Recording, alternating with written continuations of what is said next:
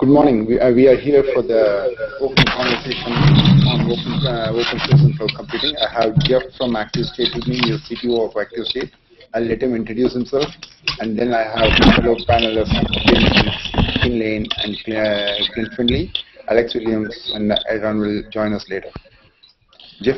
Hi. Uh, as I said, Jeff Hobbs, uh, work at Active ActiveState as CTO, and we work in the cloud space with uh, private PaaS solution as well as focusing on um, dynamic languages and editors. So very much focused on the developer side of the cloud.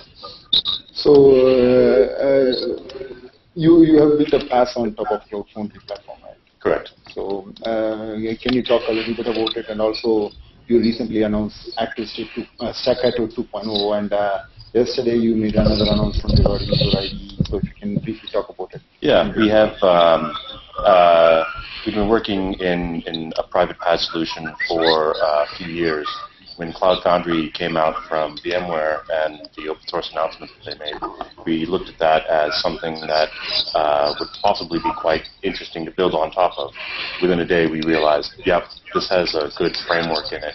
Okay. How does this Cloud uh, Foundry-based uh, platform differ from the one you had before? And uh, where did you change from your uh, We had um, we had a few key tenants in what we were trying to build. One, a couple of years ago, not as common, we wanted polyglot. We've always been focused on across all the dynamic languages. Komodo, our IDE, supports them all really well, and and we were realizing that there's, okay, there was a Ruby option out there. Google had a kind of a Python, and then they did add Java later, but it's still pretty restricted. Um, so we wanted polyglot, but we also wanted it to be private PaaS. It's much in the same way that Heroku or Google App Engine operate, except it can be deployed wherever. So that was what we were you know, building. The Cloud Foundry had a very interesting um, infrastructure layer mm-hmm. for how you want to build the a PaaS solution. It kind of decentralized. You had these roles, combining easily new services and new languages. Um, you know, one of the things that uh, we also liked about it is it added Java mix. There's a lot of developers Java background at VMware. Mm-hmm. Um, and But all the other languages could be equally supported well. They came out with something that was, I think it was originally Java, Node, Ruby, and that was that was it. Um, you added.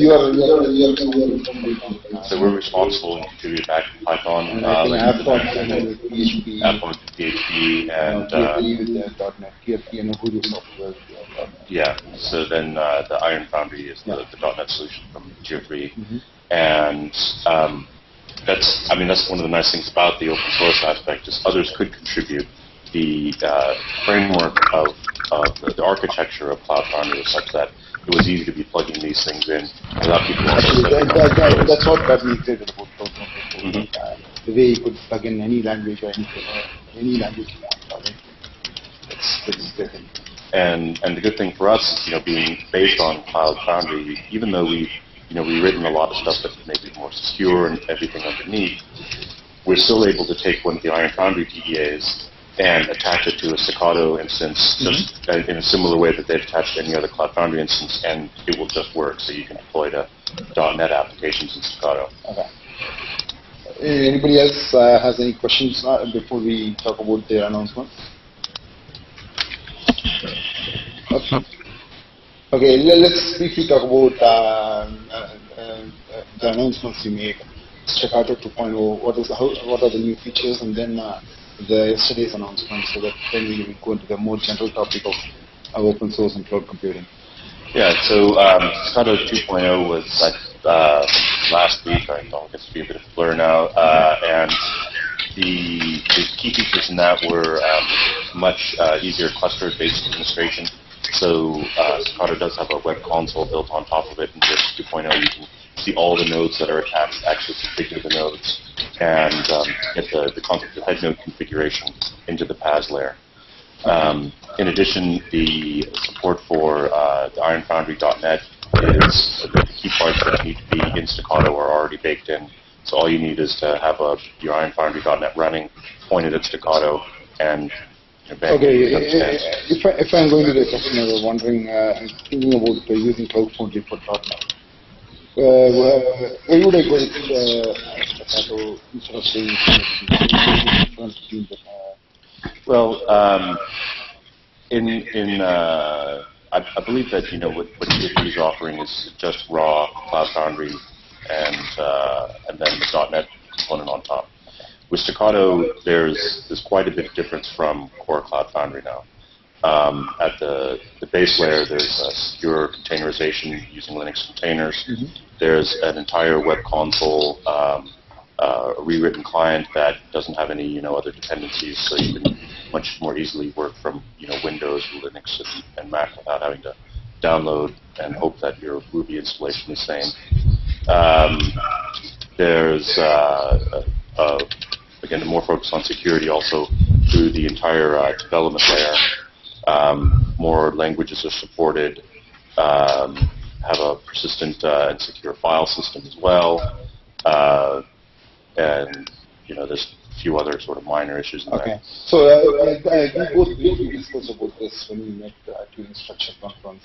But uh, can you, uh, uh, just for the audience who, who are viewing now or who will view later uh, in the recording, can you tell the difference between the advantages of security you are having with the LXC kind of cont- container-based approach compared to the virtualization approach from VMware and other virtualization? Well, the, the VMware one is uh, currently, when it came out, it, it was just basically using Unix users, and then their secure mode is randomized Unix users, all on kind of using the same system. Uh, they're playing around with something called Warden, which is not fully integrated in the system yet, but you can try and get it working, which is pretty similar to what uh, the core Stackato uh, secure approaches. And what we're doing though is specifically using LXC so that you know it's basically a para-virtualization on top of your regular VM. So if you have a DEA, the, that's the execution node, it may have uh, 8 gigs of uh, memory space to work with, but that'll be sliced and diced into different LXC instances. So each person thinks they're the only user running on it on that system. And in Stackato uh, 2, where we're also running uh, based off of Ubuntu 12, we're using LXC with AppArmor profiles for you know uh, en- enhanced security. So other panelists, if you have any questions, you can uh, ask about ask now. Otherwise, we can uh, go to the more general topic of open source and, and cloud computing.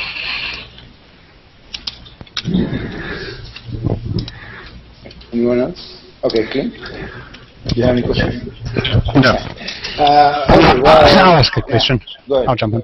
I guess um, you, you know you've already said that there's a, some big differences between what you're doing in Cloud Foundry. So I guess the question is, um, given that some have likened VMware to the evil empire, at what at which point, uh, well, question: How much risk is there in in what Cloud what VMware's intentions are with Cloud Foundry, and at which point does it all kind of blow apart and get forked left, right, and centre? Okay, so you're asking, uh, you're saying that uh, VMware uh, could uh, is a uh, evil empire, and uh, how are you going to, how are you going to fork it? That's the question, right? Yeah. Okay. Yeah, well, I mean, uh, the the future of Cloud Foundry is always something that we have to take into consideration, given some of the rumors in the news just in the last week. Um, and nobody quite knows what's going to go uh, on next. So with Cloud Foundry, though, I mean, from day one, it's open source. Till now, it's still open source. We can see how they're developing it. Um, the the rate at which development's occurring is not uh, you know, any faster than we can always keep up. So we're constantly merging back in changes. Um, you know, with the with the latest release, there was yet another merge with embedded router and some other pieces. Now we've already essentially forked it uh, with some of our changes, and there's a lot of enhancements on top, but there's also some uh, rewritten components underneath. And you know, the one of the good things about the Cloud Foundry architecture is it actually makes it easy to sort of, oh, I'm going to drop out this Rails component, I'm going to put a Node component instead.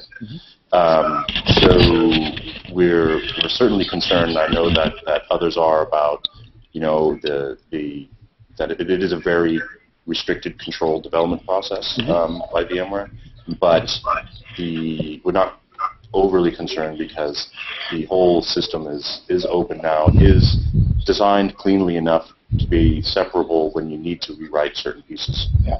So I, fully agree. Like uh, design, it's designed to, designed for easy porting, and already people have forked your. Uh, Apple has forked PHP. Everybody has uh, uh, To come up with their own. Forking the software is easy because of the open source license, but forking the community is the tough part. Unless you have a community, take the community away from uh, VMware, it's any fork is practically meaningless. It's going to uh, unless you are you have to develop your own community after that. So, uh, whom do you who, who, do you think is in a good position to fork Cloud Foundry community if VMware ever tries to sort of uh, proprietary or is it in a direction it should the uh? Um, or well, uh, ActiveState uh, ready to take, take the leadership? Yeah, ActiveState certainly has no problem with uh, taking that role if if it were to go down that path, um, because you know we've long history working with open source and working with many communities. Uh, we have a very strong community ourselves. You know, we still get hundreds of thousands of downloads of our software um, every month. So it's it's something that we already have our own community. Um, yeah. You know, somewhere near a million people in our single sign-on system. So there's a lot of people that are interacting with ActiveState all the time. And of course, we're very developer focused. Um, and and that's that's always been kind of that's the heritage. Uh, whether that developer is an open source developer or maybe an open source developer in the enterprise. Um, so you know we, we could do that. We already have our own community, which is why Stackato has become something of a success. We get a lot of feedback on it, um, but we still are actually you know we watch the Cloud Foundry community. We'll occasionally uh, help with the you know, when, when the answers relate to something that isn't getting answered by anybody else. Mm-hmm. Um, and, uh, you know, right now it, it is kind of an open question, know, what, what does happen next. So uh, let's take a hypothetical. I, I don't believe VMware you know, will grow big time because they understand the value of cloud foundry, but uh, discuss the hypothetical situation of VMware selling at big time. Uh, do you expect a single company up critical leadership role in, the community, or do you expect all the other startups like uh, uh, Appol or uh, ActiveState to, uh, you shouldn't call it to call your company a startup, uh, but uh, yeah. coming together and forming a new federation, let's say a produce union like uh, OpenStack, and uh, keeping it going? Well, um, it, it's, it's hard to say because one, uh, is it, I wouldn't put it outside the realm of possibility for a large company to screw up an open source project. Mm-hmm. We've seen that happen mm-hmm. time and again. And uh, in, in VMware's case, though, there is that open question on this week. They're already talking about splitting it out. That's very true. Because if a company splits out and all of a sudden has to, you know, you're, you're now an open source company, either they better have a lot of funding to start with, or it might all of a sudden, oh, it's now open core. Yeah. Right? And we saw that with Eucalyptus, who, you, you know, it went open source, then they went open core. That didn't work out too well for them, and then they had to go back open source. Um, so, in, in terms of who, who would step up, I would think that you would want at least that a loose uh, federation of, of people to all be working together on the same things. Otherwise, you get you get a full fracturing of mm-hmm. the, the setup, and that probably is not going to be healthy for a long-term success. Yeah. Uh, let me let me just add uh, uh, Jonathan to the conversation, and uh,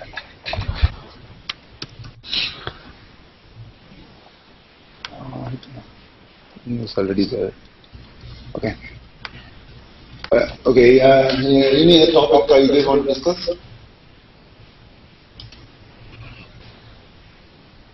Yes, uh, let, us take a, talk about uh, how uh, Cloud Foundry is going to fit with uh, different infrastructure uh, layers, OpenStack, CloudStack. I know uh, Piston Cloud is building some uh, BOSH components to fit Cloud Foundry on top of uh, Open, uh, OpenStack. So do you uh, do you expect to see Cloud Foundry, uh, someone uh, porting Cloud Foundry to CloudStack, maybe Eucalyptus, another uh, platform? What is your strategy going forward? Let's say if private PaaS is taking off in a big way like you expect. Uh, you, uh, the underlying infrastructure layer might be different from what different from, uh, with every organization. So may want to support across multiple private platforms. So what is your strategy that? Well, uh, that's that's exactly what my talk this afternoon is about. But um, we already do have support for multiple uh, private infrastructure because with our focus being on private platform as a service, uh, we had to address the needs of the many different enterprises. And we started off with, well, okay, we'll pick off EC2 because it's easy for us to you know run sandbox in there, vSphere because they're the current market leader, and then we'll pick one other and happen to pick OpenStack. And then you know immediately some big enterprise comes along and says, hey, I like the product, but uh, we're on CloudStack, so uh, what, what, what's happening here? And you know we, we learn over time that okay, we built it out, so now we support KVM and CloudStack, OpenStack, you know the for both the lower hypervisor layers as well as uh, the higher layer. um, and that's nat- that's what naturally is going to have to happen with the, the BOSH side, which is really sort of the orchestration part of the Cloud Foundry piece. Um, and it may not be you know VMware for whatever reason.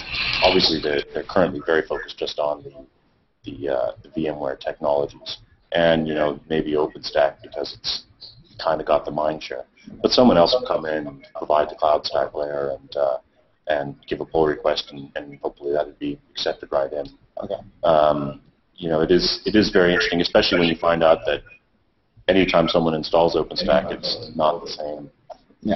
uh, in across different organizations. So the, the, the, the subtleties of how you have to manage these things for any level of uh, setup is, is um, uh, eye-opening. And uh, go, going forward, like uh, open source is sort of commodity and pla- platform layer, uh, cloud foundry, especially cloud foundry is commodity the platform layer. With so many people jumping in with the by using cloud foundry as the uh, framework. Uh, going forward, two years from now, uh, where will uh, companies like Active State and Tier 3 and AppFog, where you going to differentiate? What is going to what is going to fetch you money, money so that your investors are happy? Well, I think that um, it, it's easy because we're already in separate spaces and separate spaces that have large potential each themselves. So tier three is, is primarily uh, an ISP. I mean, I don't know all about their each of these other business models, but currently they're, they're an ISP. They can provide you that cloud. They can manage that cloud for you. I mean, they run the data center. That's their business. That's what they're familiar with. Um, AppFog, it, I mean, it's a startup. They're uh, they were PHP Fog, now they're App Fog and trying to add more uh, languages, but it's a public PaaS.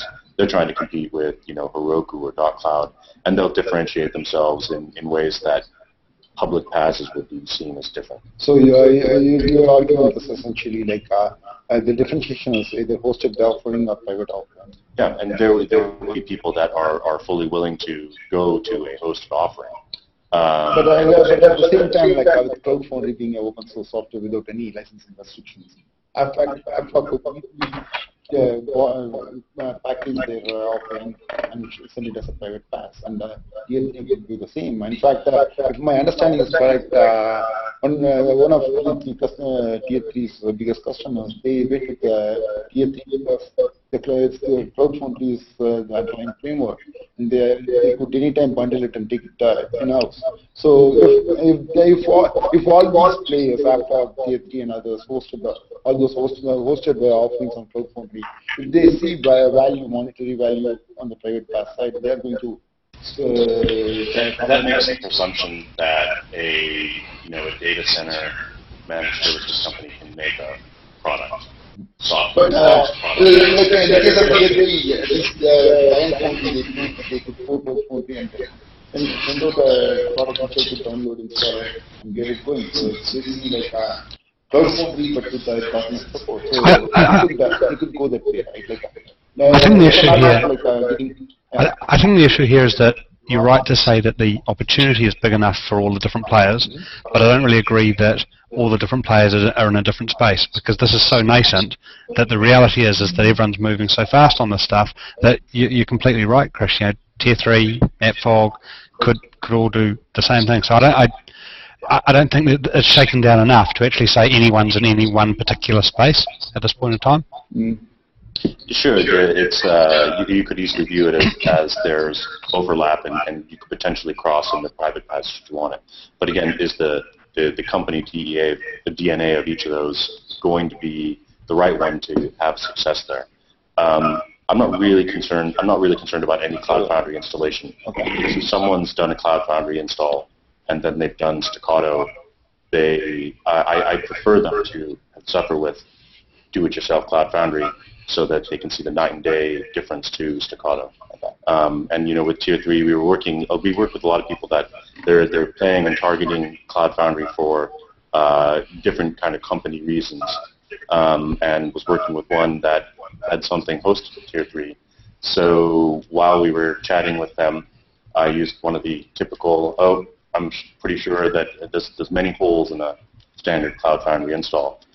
So I, without you know any other real permission except for knowing what their API endpoint, I created a user on their system, and um, you know could have pushed up apps and stuff like that. And said, I said nicely to them, yeah, you should make sure you talk to Tier Three about uh, how to close down the setup. So in that sense, So Cloud Foundry doesn't bother me anyway. I mean, it, I, it, it's uh, it's a, it's a great framework to start with, but people have to learn that it's just a start.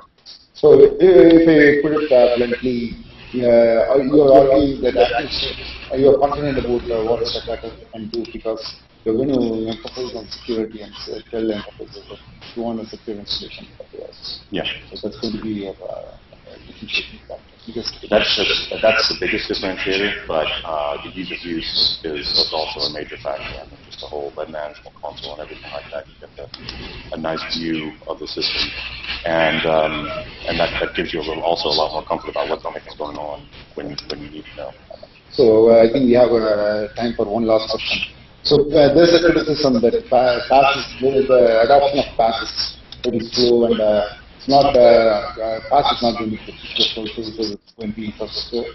Uh, so do you agree to the criticism and uh, if not, like, where do you think PaaS is to be? Uh, Um, I think uh, I think your infrastructure is useless without PaaS on top of it. So um, there's there will always be you know a need for just raw IaaS. I mean, the virtualization aspect of the cloud that, that that's infrastructure, infrastructure is not going away, but uh, Yeah. it will go into the case of IT. but um, for developers who use the PaaS system and, and realize the, ease of use that it represents for them, uh, they're, they're sold in you know, 90% of developers when they've done that. They're like, "Oh, that really is nice and effective. So there will be more uh, demand on their own IT services. Look, if you're not going to let me go off to a public PaaS system, give me something locally. Um, and you know, we've heard that directly from IT that, that come to us and say, look, we're getting some pressure. You know, we do have 10,000 applications, and we'd rather not have to, you know, help them manage every single setup, right? With PaaS, you can go from kind of weeks for, okay, here you've got your red tape for approval and the uh, setup of the system, and oh, you wanted this kind of database. Oh, we forgot about the web server that you needed and to a PaaS where, okay, here's your memory space on the pre-configured system. Go ahead and push. You're, you're up in minutes. Okay. So, uh, anybody else else has any, any other question? I think um, in terms of that um, PaaS adoption, I think, um, that, I mean, we all bemoan the fact that PaaS adoption hasn't been as, as quick as we'd like it to be.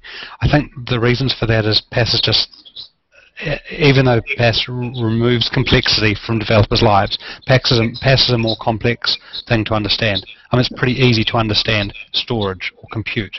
It's a lot more difficult to understand, you know, platform as a service. And so, I think th- the reality is, is it's going to take a long time till people people really understand it. And I think what will happen is, so for example, this morning I talked with Barton George from Dell about their project Sputnik, which is an Ubuntu laptop, and that's really, you know, that's really for me the, the beachhead for them starting to speak to developers. So it's only when you see a company like Dell doing something like Sputnik, acquiring a PaaS player as they will reasonably soon, tying it in with infrastructure. Okay, I have to invite the next guy. He is joining.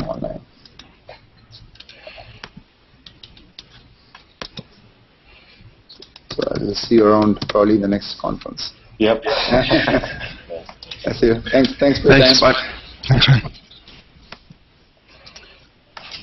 So Kin, uh, what is your take on PaaS? And PaaS as the future of cloud services. Well, I think it's something that, um, you know, where we at in just the infrastructure as a service. We're six years into it now. So, I mean, I think we've got ways to go where I think we'll really, something that they see they get, using storage are, uh, are, uh, but I know we're still getting into the, uh, in terms of the cloud. So, in platform, we've got to come up with a lot of the reincarnations see it in their terms and it speaks to their company, their resources, and speaks to their you know, development teams in a way that uh, makes their life easier. And I don't see it happening. And, and do you think that's because it's just that much more complex to understand? No, I just think I just think there's a lot of moving parts. I mean, I think it's got to be assembled in the way that really speaks to people and really truly makes their life easier. I mean, PaaS has to deliver on the original promise that it's going to make my, my life easier and be plug and play or you know mm-hmm. it can't be a whole lot of new work for me in a whole new way otherwise i'm going to walk away from it it's, you know or not entirely but that but a specific you know i'm going to abandon whatever was put on my plate so it's got to really speak to me it's got to be something that that actually is a building block in my life and lets me step to that next level otherwise i'm going to keep stumbling and we're going to see it drag out over years and years here i think before we get there So I I especially agree with that in the enterprise because uh, they're not going to use a public PaaS right off. They're going to play with something and play with something months and months in before they actually use it in some public way. And the most streamlined environments are all the public PaaS offerings.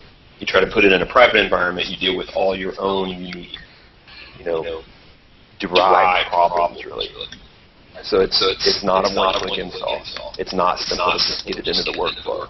Um, and some some companies I, I've talked to, like I'll show them, look how easy it is. And they're like, well, that's pretty much what we have with a build server and something else. You know, it's, it's, it's not taking them a huge uh, step, and those are usually more developed group groups. So what they say usually is, oh, we oh, have to then deploy it, and that takes a lot of effort. So I think when it when it gets easier to get deployed into various environments, we'll probably see uptick then.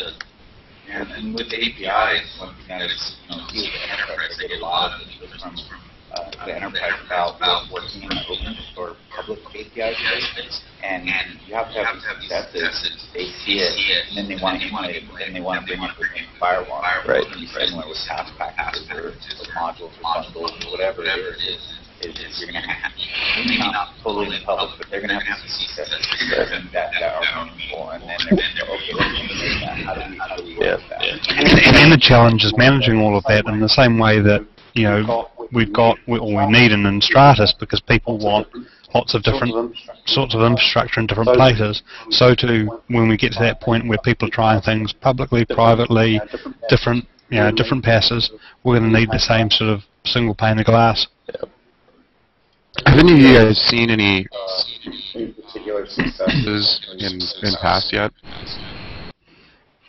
Um, there's a lot of good Heroku stories, and I mean Heroku's really talking up the Facebook app thing, which is kind of um, it's kind of good because there's lots of them. It's kind of a shame because they're always really lightweight and stuff. But um, you know, like I, I'm, you know, I spend a lot of time talking with a development house back home, and they're doing a, a bunch of stuff on Heroku, um, and having huge success. You know, great scaling. They forget about the servers. The the whole promise of PaaS is kind of embodied there. I think the Cloud Foundry stuff, my readers, it's just you know, it's a, it's a few years younger, so there aren't those great case studies yet. I don't know. Okay. But um, have you heard of any enterprise story from uh, hosted PaaS providers? Hosted passes and privately, No, uh, like uh, Publicly Heroku's, available, but uh, privately. Heroku, Engine Yard kind of hosted PaaS providers. Have you heard of any ent- uh, big enterprise story like uh, uh, some of the things we are hearing on the private PaaS? Yeah, I mean, so um, I mean, at, at DeployCon, there were definitely people there that were were, were doing stuff. Um, yeah, So mo- most of the enterprises, they still don't really talk much about what they're doing. But just like I was saying a minute ago, in regards to uh, time frame, the enterprises that are looking at PaaS, they might even be running some internal production apps, but they're one, not talking about it publicly too much. They're usually involved intimately at a very, very very hardcore level, like in the actual email or something like that, discussing the technical topics, but not discussing exactly what they're doing with it. Uh, there's at least a half dozen, if not more, companies out there that are doing everything from, you know, .NET to Java to different things, and they have their own environments that they're setting up, and they're actually using it, but they're just, again, they're not talking about it. It's just kind of, yeah, we're using it, but it's in a, it's in like a prototype stage, or it's, we just have one or two production type apps that it's okay, they don't need resiliency, so it's real safe for us to put them on there, and they're doing like a little bit of greenfield stuff, but nothing really concrete, nothing that you could take and make like a use case story out of or anything yet. Yeah. Going going back to Heroku, I've seen some really important applications being run on Force.com, but when it comes to Heroku, uh, most of the apps uh, I've come across are like uh, more like uh, marketing kind of uh, apps or like start, uh, apps by startups. I haven't seen any core enterprise applications being built on top of Heroku, but uh, I've uh, seen such applications on top of Force.com though. So is it my question to you, uh, to you is, is it because people don't uh, trust hosted uh, apps much like how enterprises were reluctant towards AWS in the beginning, or do you see different from what I'm saying? I I don't think it's a um, it's a differentiation between hosted and private. I think it's just that enterprises are slow to adopt, and in, in, in the same way that you know we haven't seen massive enterprise adoption of, of, of infrastructure as a service. That's not a you know to an extent there's a private and public debate that will always go on, but it's it's not fundamentally about public-private. It's it's fundamentally about enterprises being slow to adapt and adopt. Well, and and I think it's also them holding their cards close to their chest. I mean, I, I deal with this in API as, as enterprise are emulating what's going on in open space. They're not telling the stories around it, and that's what I feel is my job is to route out these stories and incentivize them. Um, not only tell the stories, the case studies, but also come up with some sort of know, grading system or some sort of monitoring system. What is going on out there? What's working? What's not? You know, and it's really hard to do because they hold their cards. I think it has a lot to do with what you were talking about earlier as well, is that a lot of developers don't see the value. Maybe once they try it, like Adrian says, they'll they'll see it. But I I, I see a lot of people that think, well, I I can spin up my machines with Chef or Puppet or whatever, and I don't really need to have somebody, you know, uh, babysit me and build this for me. I, you know, I've been setting this stuff up for years, so you know, why stop now? Yeah. So Aaron, you have been talking to developers. Kin, you're, you're also talking to lots of developers. So what do you think, uh, think developers prefer? They want to, they are uh, more happy with the no style of hosted PaaS or they are more into DevOps style of uh, private PaaS or even infrastructure and above kind of approach. Uh, what is their preference? I, I think it totally depends on which group of developers I'm talking to. You know, you could classify that by a lot of different criteria. Um, but uh, like really young developers, just getting into the field, you know, they're usually jumping into something like Ruby on Rails and Node, and you know, as long as the PaaS handles what they need, they don't care anything else about behind there. But people that have a little bit of experience or like cut their teeth on some larger systems or whatnot, they're hesitant to give up any type of infrastructure control. Yeah, So they, they see it and they're like, okay, it's kind of cool, but I still want to be able to spool up some instances if I need to do something custom. And then there's still a whole echelon of developers that are completely scared of cl- anything cloud related at all still. So that's kind of the breakout that I've seen a lot. Okay. Right. Well, that's where I, I think uh, something like Amazon Elastic Beanstalk comes into play, where it's a uh, they're- don't even call it a platform as a service, but it it looks a lot like a platform as a service, and you can uh, uh, set up the uh, Java through it, you know, just with a, a click. But then, uh, if you want to customize stuff, you can. You have the same, uh, you know, all the, the same ability to customize it that you would have uh, running just a normal um, AWS. But uh, how, Or at how is that's my Elastic, uh, understanding. Elastic Beanstalk different from, let's say, uh, me using Bitnami to install the package uh, uh, set of uh, Using, using which?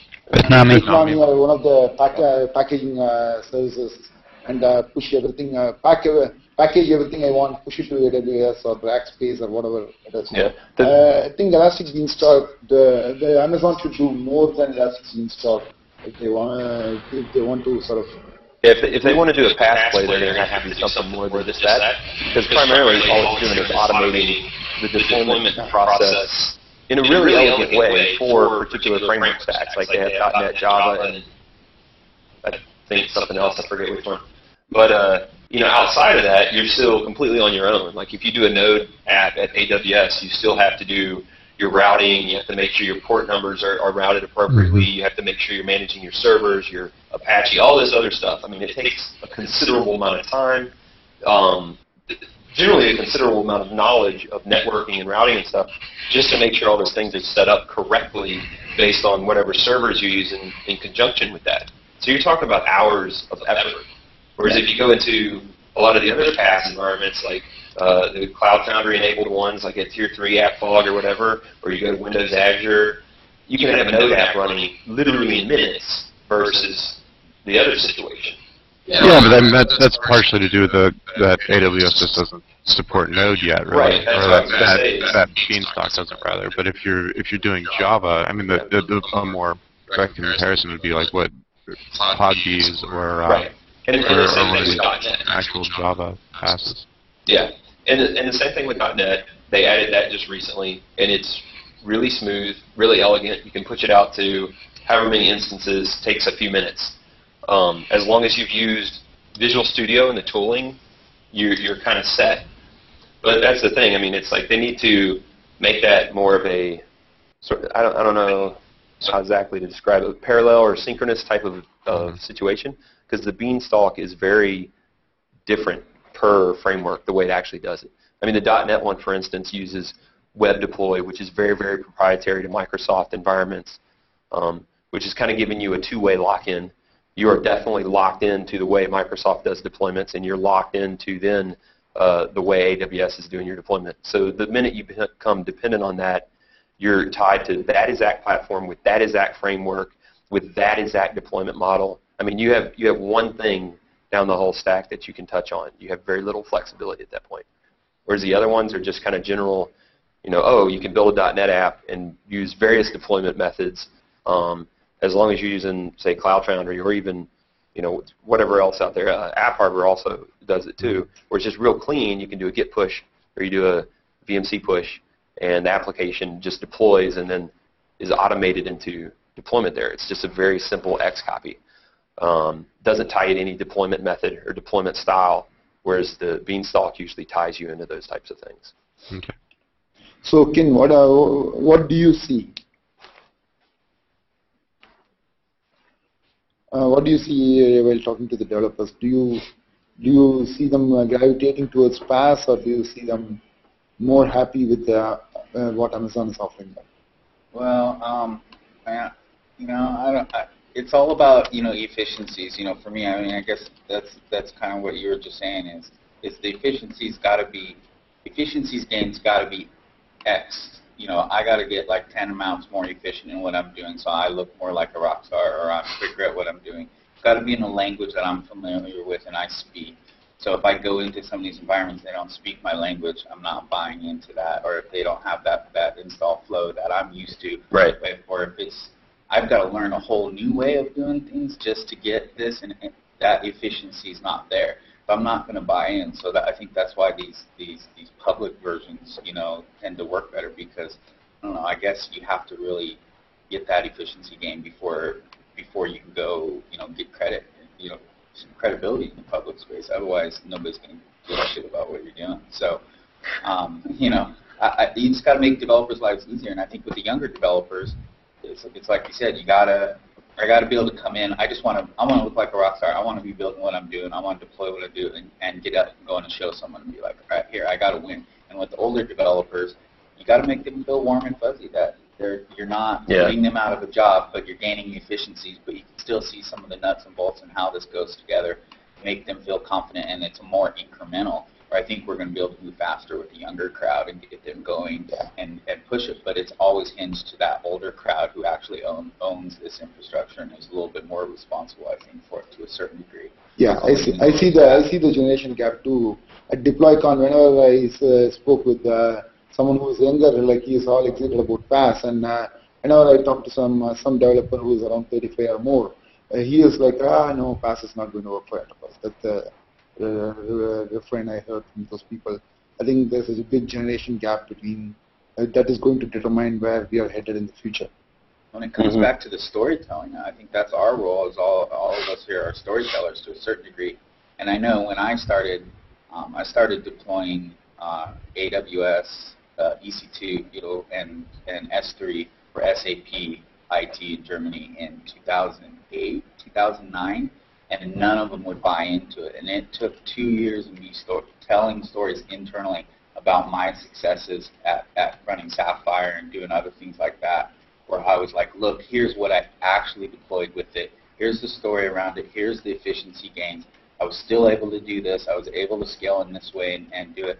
And then now they're slowly evolving towards adopting the, the infrastructure as a service. So I think with PaaS, it's just going to, the story is going to be a lot more of these stories, but we just have to keep telling them. And when they're going on in enterprise, I don't know how to get them to do it. I don't know how to get them to open up their, their, their deck and show us, tell us what's going on, but that's what's going to, you know, be needed for adoption. Uh, I I think I agree with you. And uh, uh, you are the API evangelist. So, wh- what is your take on interoperability in the PaaS world? Well, I mean, I'm my my whole philosophy is, or my methodology. What I do is I go around and I look at uh, PaaS, you know, public open PaaS installations, and look at how they deploy their APIs and set up set up the APIs and and the building blocks around it so that developers are successful. So developers can step in and just immediately, you know, onboard within 30 seconds. So it's similar to deploying PaaS infrastructure. You want people to integrate with your infrastructure, it's got to have the right tools and the right systems. It's got to be self-service. It's got to have have uh, you know, it's aimed in mobile, it's got to have both Android and iOS. It's got to have some HTML5 or PhoneGap. So you got to have the right building blocks, otherwise developers walk away. So depending on whatever resources you're deploying in your PaaS infrastructure, you've got to really know your target audience, I think. And you got to assemble the right building blocks, otherwise developers don't care and they'll go away. So, Ben, ben this is your first OSCON. So, I, I'm sure you're talking to uh, more developers uh, in this conference than anywhere else. So, what, what is the general feeling you're getting in terms of uh, adoption or cloud adoption in general? Because it's an open source uh, crowd, it's a tough crowd. They're not going to take uh, cloud for what it is. They're going to dig deeper before they jump into cloud. So, what is the general opinion you're getting? Well, it feels to me like, um, like you say, I've never been to OSCON before. It feels to me like OSCON is, is really, really polarized, and that kind of speaks to the fact that the developer community is really, really polarized. And to, to, to points that we've heard earlier here, you know, in this this hangout, you know, there's um, a significant number of developers that often they're the younger developers that keen to try something new. You know, they're delving into PaaS, they're really getting it, and there's a bunch of folks. Um, that are dyed in the wool. You know, they, they like doing things the way they've always done things, and you know, open source tends to um, attract people like that that are a little bit um, dogmatic about what the way they do things. So I, I would characterise it as being as, as being really really polarised, and we can go out to the to the the halls here, and there's a bunch of people who don't know, don't care, don't rate um, the cloud or anything to do with it. You know, they've all heard Stallman's rants about the fact that the cloud's the, the riskiest thing since since I don't know what. Um, and there's other people that are that are here and getting it. It's it's pretty polarized. Um, so, Klint, uh, from uh, you, you have been uh, focusing on enterprise lately, and uh, I, I know you, you were writing for Wired Enterprise before you moved to TechCrunch. So, uh, what do you think? Uh, will enterprise embrace cloud, public cloud, in, uh, in the next couple, uh, two three years in a big way, or like that's going to be a very slow adoption? Uh, I, I think that, that enterprise is already adopting public cloud at least for uh, for infrastructure and and and more so for software as a service. Um, I don't know about platform as a service, but I, I think the success of, of companies like Salesforce.com and, and Workday speaks to the, the fact that enterprises really are willing to to put stuff in the public cloud if they have the right assurances. Yeah. So, Aaron, uh, from uh, from where you are, like uh, you're you're doing some work with Tier 3 and uh, you, you must be talking to some of the customers. So, what is your take on enterprise adoption? Hmm. The the thing I see the most with PaaS is the internal deployments need cleaned up big time. The second that happens, the the selling point to get PaaS put on the end of current enterprise internal custom applications is really easy. Um, they might not see it as like this big, huge, awesome thing uh, that's going to save them a ton of time, and it will save them time, and it will make it easier to manage and deploy applications. And in enterprises that have, you know, literally hundreds and hundreds of applications that they maintain, build, and deploy on a daily basis, then the PaaS can be a huge, you know, efficiency and time saver. And in the end, on a day-to-day basis, it can save them a lot of time and money and effort.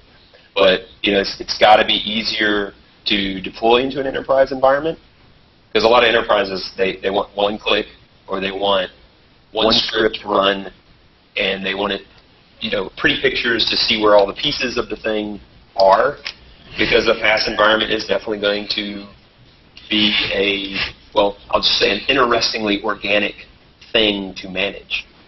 So they, once, once they have those pieces, we'll definitely see a lot more adoption of it.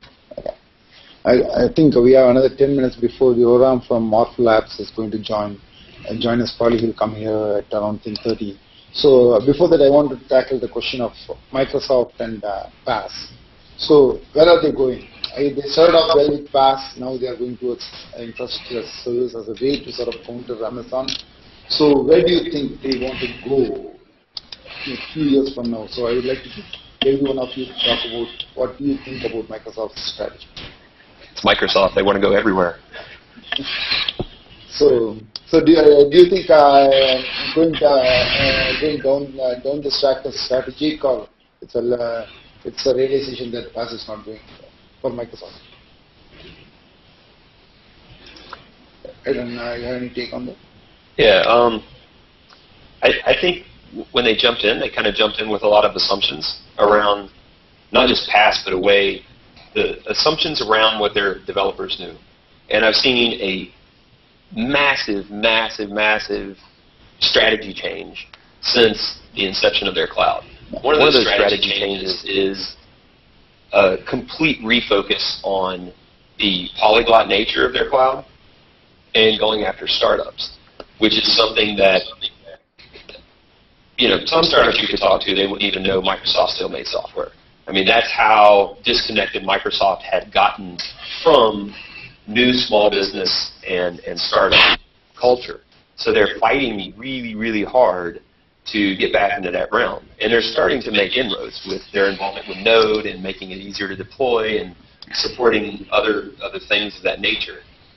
But then they still, of course, want to go after the enterprise environments. And I think they're not as concerned. I think they would have liked to see more uh, acceptance of their cloud, and I think that's where they're getting a little bit more into the infrastructure bits because they have they have a lot of communication, a lot of uh, you know things going on with enterprise partners already, and I think that's what's driving a lot of that that infrastructure need and, and some of those other pieces that they're starting to add.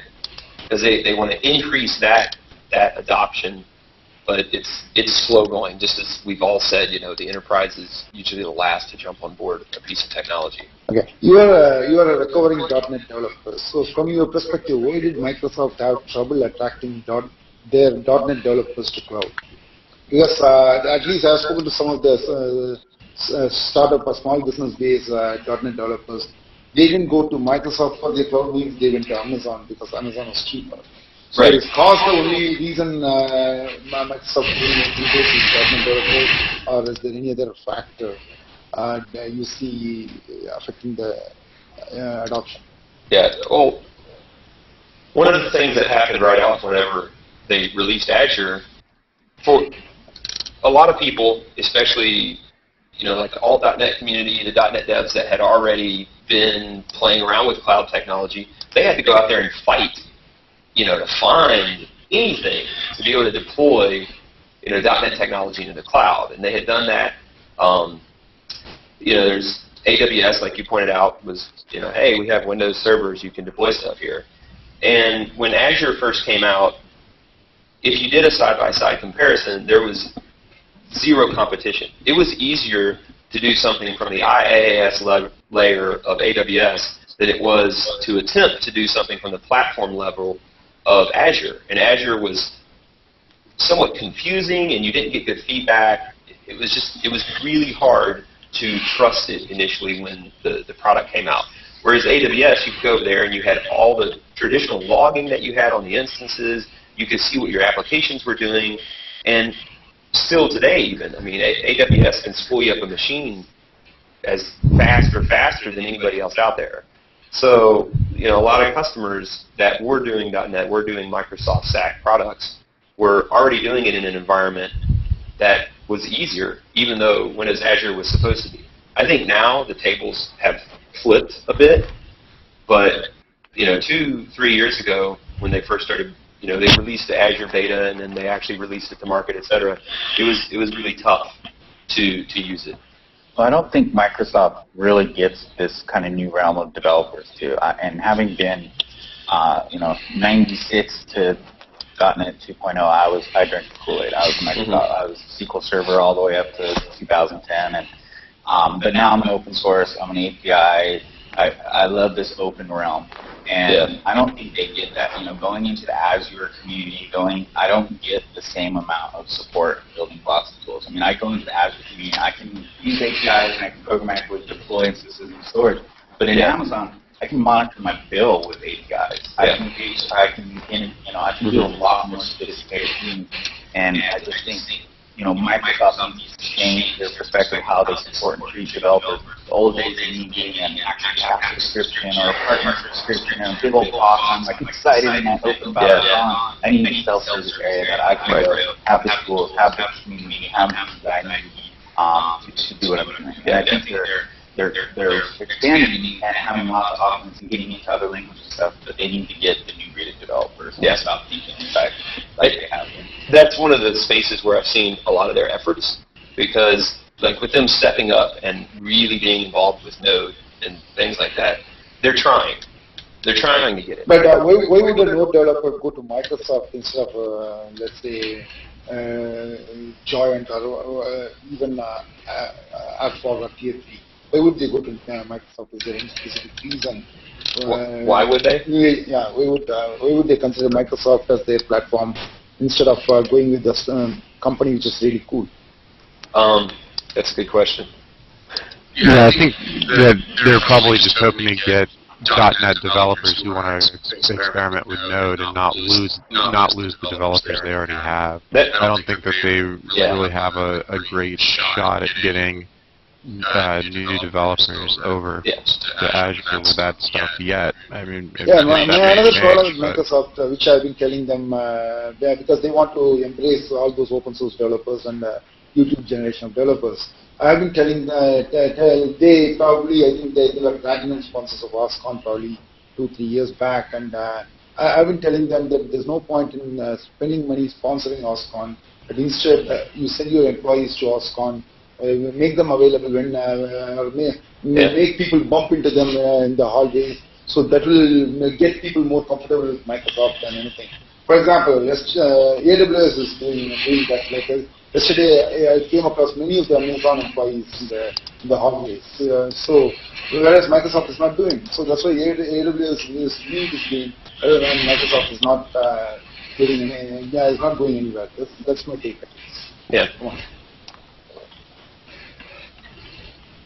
Yeah, uh, uh, uh, we are having uh, Yoram from Morph Labs. You want to come and join in? Cool. So, I'm, I'm gonna step out, guys. I have to uh, okay, get on another call. okay. Thanks. Yeah. and, uh, okay. Everyone, welcome to the Hangout. And uh, introduce yourself, probably talk about your company, and then we'll get into it. Great. Uh, happy to be here. Thanks for having me. Uh, my name is Yoram Heller. Uh, I'm the VP of Corporate Development at Morph Labs. Uh, and we make a converged infrastructure solution based on OpenStack. So all the hardware and all the software necessary. Uh, and today, or rather two days ago, we just announced uh, our most compact and efficient solution yet. So everything in a 2U box. So you are bundling uh, hardware with OpenStack and trying to compete with the UCS of the world. Correct. Yeah. So we use uh, we use um, OpenStack Nova, Okay. um, and then uh, we use block storage from Nexenta, Okay. so ZFS. Okay. Uh, and we originally started as just a software provider, Mhm. but we realized cloud was much more of a systems problem. Mhm. Um, so we redesigned everything from the ground up. And So Okay. everything's actually powered by SSDs. Okay. So um, uh, let's talk about two two aspects of your offering. One is like uh, efficiency. How much efficiency? Uh, how you thinking this your system up to the big uh, irons over there? And, yeah, uh, and also the cost factor. Yeah. Uh, so if you can give some insight on insight on that. Sure. So um, the solution that we just came out with two days ago is called the mCloud Helix. Mhm. Um, so the SRP on that is seventy-five thousand dollars, uh, and that features 80 vCPU, all powered by SSDs, as well as three terabytes of storage. Okay. So can you uh, compare with the? And if you were to compare it, um, it's actually over a two-year time frame, uh, about 30% cheaper than AWS. So we're very big proponents of innovation in people's respective. So, so you you expect people to go from public cloud to private cloud once their uh, the, the uh, if their load is not uh, peaking uh, peaking at uh, regular intervals and if it is consistent. So you're all Yeah, I think going with the Correct. For enter- cloud will be more efficient. Exactly. For enterprise computing, I think there's a fairly uh, well understood um, baseline, right? And you're never really going to go very far below that. And you know, essentially, what we're doing is offering a real alternative to these project managers who are going into a shadow IT department and just swiping their credit card and going to Amazon. And you know, with with our solution, literally in a matter of days, they can have it sitting within their data center, and they have you know everything uh, as they would expect. So you know, the instant access, the scalability. Uh, but the difference is, you know, the quality of service and performance that you're getting is greatly increased. So um, we're seeing boot times on our virtual machines in under eight seconds. Okay. Pretty good. And I, I, I fully agree with the, the quality of uh, ser- service issue which uh, we are seeing in public clouds. But uh, there, there is a school of thought that argues that uh, you can work around those issues, quality of service, or fail, uh, node failures, or Sure. even on uh, uh, data center failures on the uh, software layer. So, uh, do you think uh, there will be a big obs- obstacle as more enterprises adopt this, adopt the design for failure approach to their uh, uh, to uh, doing their apps? Do you think uh, they will they will prefer public clouds uh, private clouds? Or do you think it's an obstacle to your company? Yeah, no, I think when I when I'm talking about quality of service, I'm really talking about the noisy neighbor problem. Okay. So, you know, when I'm on an instance on Amazon, no matter how you architect your solution, there's going to be uh, peaks and valleys and things that are available. The way it's structured right now. Um, and that's that's that's no jab at Amazon. I think what they're doing is executing you know, extraordinarily well for what it is. But that being said, if you want to get a dedicated instance where you always have a guaranteed quality of service, that's really what we're trying to focus on. Okay. Now, I'm, I'm a full proponent of architecting your solution for failure and uh, redundancy, and I think that's that's also a component of quality of service. But what I'm talking about really is more on the performance gains. Okay. So uh, do you think uh, Amazon will try to sort of, uh, you know, yesterday they announced uh, some ser- ser- service based on solid state drives. And Yeah. Do you think they will go towards uh, offering uh, solutions uh, targeting enterprises which offer better quality of service comparable to what uh, they can get from uh, private cloud? And if Amazon starts doing that, they can go to any level to compete on the pricing. So do you think there will be a problem going forward? I don't think that's their business. I mean, I think you know the SSD stuff that they launched was was really interesting, and and uh, I remember reading a blog post actually earlier this morning from Adrian Cockcroft, Netflix, Hmm. um, that talked about actually not only the performance gain but the cost savings. and that's also what we're seeing too. The increase in IOPS is exponential. Um, but really, they're not they're not the bogey that we're we're kind of going after. Mm-hmm. Yeah, I think understand. I think the it's important. I, I take you know what we do as they've showed us the way, right? So we're taking the massive web scale companies, whether it's Amazon or Google or Facebook, they're not building clouds the way you know a VBlock Mhm. or a FlexPod or any of these guys are doing it. They're just they're doing it with open source and they're doing it with hyperscale hardware. And so we're taking that same model and introducing it and allowing enterprises who do have IP constraints, right? There is a place for the public cloud, but there is also a place for a private cloud. And the way we think about this is dynamic infrastructure. Okay. So yeah, actually, like I wanted to get you to compare with the big big iron boxes out there. Yeah. But, uh, since you brought in Amazon comparison, I, uh, We can go I in of, loop, yeah, yeah. we went into that loop. So let's talk about the your FlexPods and Cisco UCS of the Yeah. world, and uh, how how do you uh, how do you compare with them in terms of both performance and pricing? And um, if I'm a, a enterprise uh, IT guy looking looking at all these solutions, why would I pick uh, your solution over uh, something from uh, IBM or um, uh, uh, Cisco or any, any of those well-known established brands which won't get me fired? Sure. So can you give me a reason why I should pick you over other people? Okay, there's there's so many softballs you just lobbed for me. I, I gotta I gotta just uh, decide which which direction I want to go with. So um, the reason that I think we're we're a superior solution in a lot of ways is because we're architected from the ground up for cloud. Mhm. And what I mean by that is um, we utilize the hyperscale hardware that I talked about in open source software like OpenStack.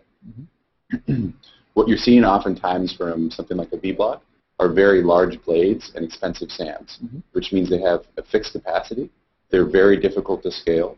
Uh, it's a very complex network, so it's difficult to actually manage it, and you have a you know specialized skill set. Mhm. Um, and then ultimately, you have to use these $150,000 EMC SANs, which leads to prices for VMs that are north of $1,000 for acquisition. So we totally get rid of that. And so what we allow you to do is start way smaller. So this is exponentially cheaper than what you're going to find anywhere on the market. Um, and it allows you to have a very small footprint. And then from there, you can actually grow. And so what's cool about this is it becomes a sale that's actually directly for the project managers. Mhm. You don't have to go and you get OKs from your CIOs and change your entire strategy around cloud computing, which is oftentimes what's happening with these much larger uh, block devices. Okay. Okay. So let's uh, take the discussion back to uh, where we were initially about uh, open source in the in the world of cloud computing. Where did you bet uh, your company on OpenStack in particular? Like, uh, is there any specific, apart from the fact that it's open source is well and good and things like that, like, uh, is there any specific reason, especially you're using Nova, which Yep. has been criticized as the most immature of all the components they have, or not all, compared to the storage component, Nova is considered to be very immature. Mhm. So what is your uh, uh, take on OpenStack in general, Mhm. the maturity of OpenStack uh, today, Mhm. and uh, any reason why you picked OpenStack as the platform of choice? Sure. Yeah. So we've actually been around for several years in the open cloud game. Mhm.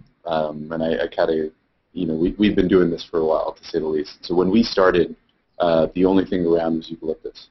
Um, and, you know, with, with popsicle sticks and tape, uh, we made it function for our customers. Mhm. Um, but ultimately, the way uh, it was licensed was never really going to be as friendly as Apache 2. Okay. So that's a big thing, right? So, So so Apache you, 2 for you, GPL licensing was a uh. Right. So we we we actually tried to commit code back to Eucalyptus, and they rejected it. Okay. And I think a lot of people had that experience, and so I've always said that I think OpenStack, in a way, is, a strange way, is actually a fork of Eucalyptus because Eucalyptus got it right with the EC2 compatibility um, and having that open cloud framework, but they just didn't allow people to contribute back in that way. Apparently, they're getting a lot better, but I think the, the boat might have sailed for them. Mhm. Um, the other thing is, is that OpenStack is much more than just you know compute and storage. Mhm. It's it's a Yeah, framework, it's right? Yeah. And it's it's extensible, and you can bring a lot of things into it.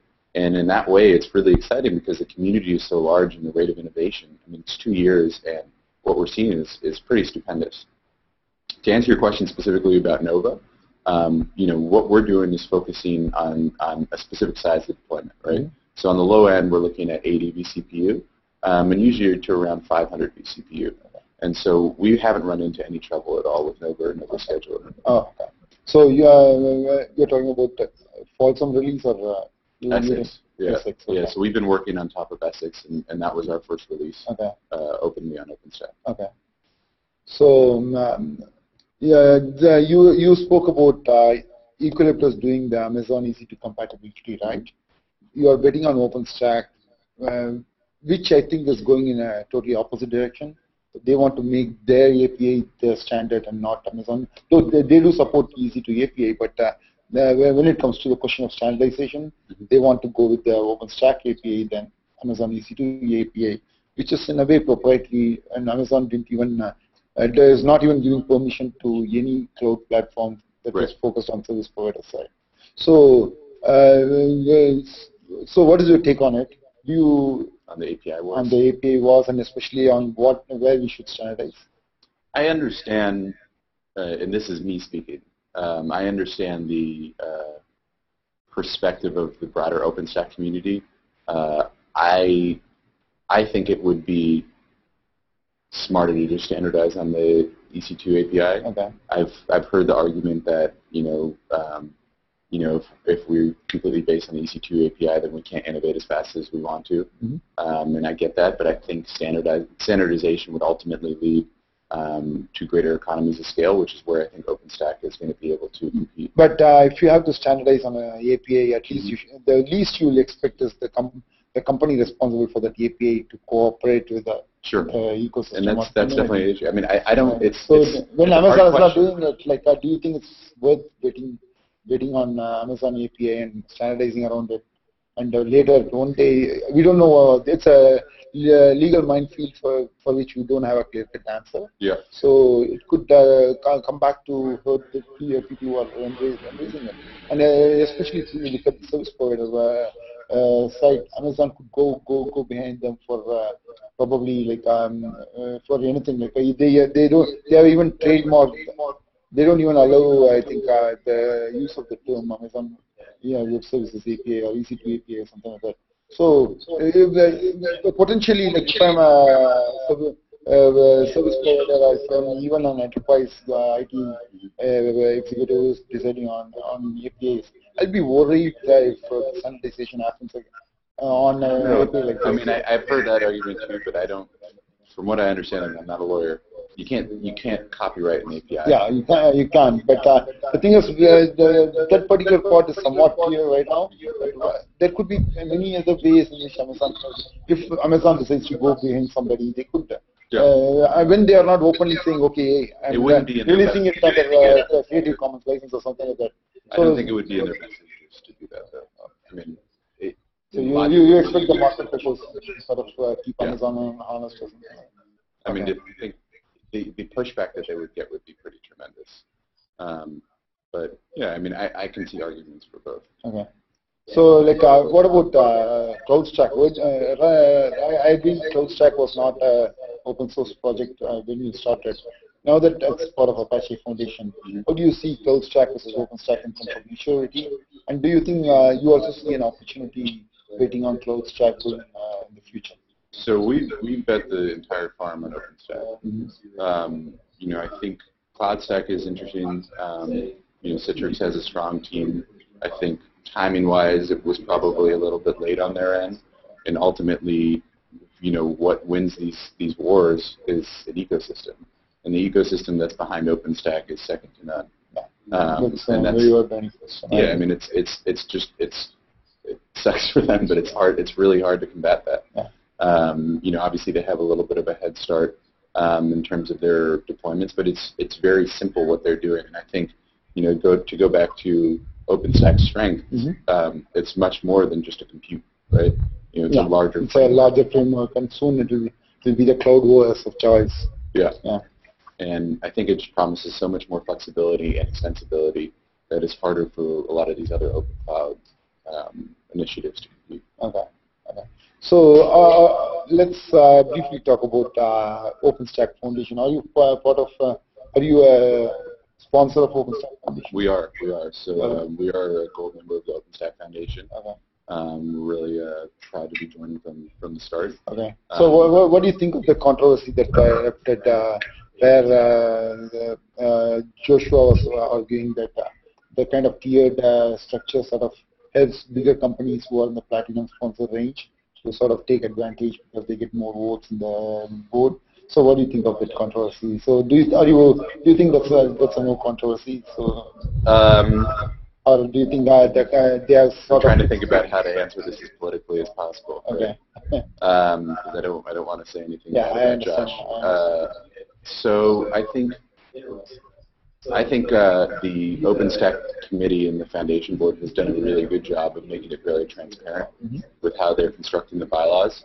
Um, and they're, I mean, I don't know if you saw yesterday, but now individuals can sign up. Uh, directly for OpenStack. Mhm. Um, and, you know, it's, it's an open source community and we're something that we're starting from, from the beginning. And, I, and to me, the controversy or, or to raise these points is important Mhm. because I, I don't I don't view OpenStack. So yesterday was the two-year anniversary, right? I think there's another 20 years in this. I really do. I think this is a large paradigm shift, and it's important to talk about all these points and make sure that we're doing things right. Okay, let's uh, sort of move away from the, the point Josh uh, raised and uh, let's uh, take uh, Morph Labs as a gold sponsor, IBM as a platinum sponsor. In a way, you both are going to compete at uh, some point.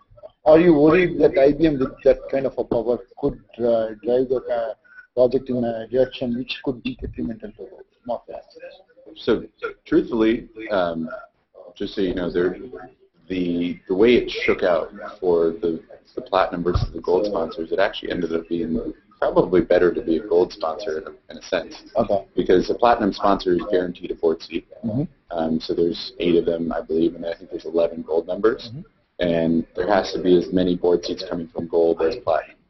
And so it's just as likely that somebody from IBM or somebody who's a gold sponsor, so they're almost as likely to get a board seat equally. At that point, um, you know, there, there's some uh, fail-safe, and the, the board is big enough where I don't think one company can exert its force.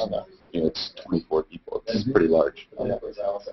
So going forward, what is the future for uh, Morph Labs and uh, Mhm. if you can g- uh, talk uh, talk a little bit about the roadmap and things like Sure. Yeah, yeah. So, um, you know, when we, I, I think a lot about this stuff in terms of these, the large soul of the company.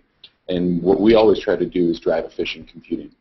Um, and what I think this means is not only in our architecture, um, but in the delivery mechanism. So keep making the footprint smaller, making it easier for people to deploy. I mean, the experience right now for, for our customers is literally, you know, this 2U box arrives with four nodes, they plug it in and it works. That's really important. Um, I want to keep making IOPS higher, and then ultimately, what we're known for is our UI. So we don't use Stock Horizon. Uh, we built our own UI that actually extends the Fog API, so it's a, a Ruby app. Um, and because of that, what you're going to be seeing from us in the next quarter is the ability to uh, expand out into other public clouds um, and that kind of thing, so directly from our interface. So Okay. um, really in, into that realm of being able to buy your, buy, buy base and rent your spike, Mhm. um, and this idea of dynamic infrastructure services. So, um, you know, the kind of private cloud and hosted private cloud equivalents of what you'd expect from the public cloud. Okay. Um, So, So, Ben, uh, you have any questions? Um, I guess my only question, so the, the new thing that you announced here um, uh, is, is kind of aimed for, Can you talk up? Uh, I'm muted here. So. oh, am I muted? Oh, you're muted. Is, is aimed for, for SMB customers. And so I guess um, private cloud, um, I would say SME, by the way. what's that? SME, Right, so small and medium-sized enterprise. sure, okay. Um, we say SME down where I'm from as well. So I, I guess a lot of the feeling, a lot of the perception is that private cloud has validity for the larger enterprises who already have um, existing assets, existing infrastructure, and have kind of Mhm. use cases that, that demand it. Interested to hear your um, your take on on where the validity for private is for for smaller smaller folks. Yeah. No, I think um, it's it's definitely a really good point. So, you know, if I was a startup right now, uh, what I what I would be focusing on is just actually deploying on a public cloud. I think that's really what makes a lot of sense. The reality is, is there's a lot of um, enterprises that already have massive infrastructures, um, and they already have IP constraints. Um, and so what's happening, uh, and, and not to the benefit of their own IT staff, is they're actually going out and just provisioning um, this public cloud infrastructure on their credit cards. And so I think it's important to be able to provide an alternative to these SMEs. Um, and you know, there's there's a lot of things that they they are looking for. I mean, um, the truth is, is, even when you go onto a public cloud, um, you're still going to need uh, you know system administrators to be able to architect these solutions for you. Um, and I think if you're running a data center as is, uh, you know, from what I've seen, this is ends up being actually cheaper over a two to three year time frame, considerably, um, which is ultimately very important to um, a lot of these guys. Does that answer your question? Um, yeah, kind of. I, I guess I'm uh, I'm speaking more in relation to, to the product that you, you launched, and so I mean, I mean I guess what's the customer demand for, for that? For, you know, what what sort of organisations, what sort of SMEs? Oh, what of what kinds? Oh, okay, sorry. So I think we focus on specific workloads for what we're doing. Um, and when I say SMEs, it's it's actually a distinction from you know very large enterprises who are doing let's say you know a thousand core plus. So SMEs actually end up being pretty large. Um, we focus on a couple. So uh, rapidly deployable websites, um, build and test with IP constraints. Um, there's been SaaS providers who've actually wanted to take their software, put it on, and then deploy it within customer data centers, so usually like a healthcare application. Um, and generally what we've actually seen is also uh, server consolidation is a big one, um, and uh, several others that I'm blanking on. okay, cool. Okay. So uh, one last question I have is, in general, uh, do you see large-scale adoption of OpenStack in enterprise, not just from uh, through Morph, Morph, but in general, what is your take uh, take on enterprise adoption of OpenStack? I think enterprise adoption has already been pretty rapid. Okay. Um, I think you know they're not used to telling their stories as much naturally, mm-hmm. just because that's not what enterprises typically do. Um, I think service providers uh, it's probably probably been the one place that OpenStack's been lagging a little bit, mm-hmm. um, but they're starting to catch up. And you know, we announced a pretty large one mm-hmm. this week. So Media Temple, mm-hmm. um, which I think you both are familiar with, uh, is going to be launching a hosted private cloud service based on uh, the mCloud Helix, okay. which is pretty cool. Okay. Um, so it's going to be hosted by a private cloud. It's not going to be the public cloud service. Correct. Okay. Yeah. That's that's you know it's something that we didn't talk as much about when we were talking about the Amazon thing, right? But what's also really exciting to me about OpenStack is the uh, ability for an ecosystem to flourish, mm-hmm. right? So in a way, Amazon has really kind of made their choice as to what you know infrastructure, the way they see public cloud, mm-hmm. and it doesn't always have to just be like that, right? There could be other choices. You can have a private cloud that's you know more performance oriented, more security oriented, and that's that's the kind of beauty of it too, right? So service providers compete on, on really different verticals and different facets, as opposed to just scale and price. Right. So do you see any traction on the high performance computing side? Oh yes, thank you. That's the biggest one. That's the, the workload that I. Okay. So this will be. Yeah. So so that's so since we're running all on SSDs, um, what I what I think about is HPC is kind of um, programmatic access to workloads. Mhm. Um, so we've been working with um, kind of an HPC and animation Okay. in Los Angeles, Mhm. uh, and what they've been able to do is bring up a virtual machine, uh, run the workload, and kill it all within 40 seconds. Oh, okay. So it's, That's cool. yeah, it's cool, Mhm. and that's all from from the way that we use SSDs, right? Okay. So having your compute infrastructure all run all run on SSDs increases your IOPS, you know, 10 to 20x, and this is something that you're just not going to find um, from these larger converged infrastructure vendors, right? Because they're they need to push these large ba- blades and expensive SANs, and because that's that's that's the way they think about their business, right? Yeah. And also, the, this sort of comes handy for uh, HPC work that's happening in academic institutions. Oh, They huge, don't have yeah. to waste uh, publicly funded taxpayer money on such large, uh, uh, big iron uh, systems. Yeah. They could go with uh, open source and uh, much cheaper uh, thing, Yeah. and they could uh, do much uh, much better than. Yeah. they could do, So at OSCON, I've actually had a couple really great conversations. Some of my favorite conversations have been with education. So, um, you know, these, they have a lot of pressures financially, and they got to try to figure it out. So, you know, when you have constrained budgets, and you don't necessarily have a bunch to find, you know, $250,000 cloud architects minimum. Mhm. Um, and then you have to fiddle around for six months trying to get the hardware Yeah. uh, and configure it. It's That's, a waste of time, waste of money, and uh, Doesn't work, right? Yeah. yeah, so I think that's that's where we can really we, we really fit in very well. So something that's a small footprint, easy to get started, and it's it's kind of this panacea for, for what they need to be doing. Is there anything else you want to add uh, before you wind up? Uh, really love the blog. It's a great blog. Okay, thank and you. I love uh, diversity.net, .co, .nz. Dot NZ. Yeah, Uh, there you go. Um, no, I really enjoyed this, uh, and uh, thank you guys for having me. uh, th- thanks for coming over, and it was fun talking to you. Yeah, And let's uh, keep the conversation going. please. Yeah. Thanks, Let's do If we don't see you anywhere, I- I think I'll see you at San Diego. Yes, you will. Yeah. You will definitely, and I'll be at VMworld too. Oh, okay. So we'll have a big announcement at VMworld. Oh, okay. you'll go there. There you go. All right. Thank you. Thank you guys. Yeah. Thanks, man and yet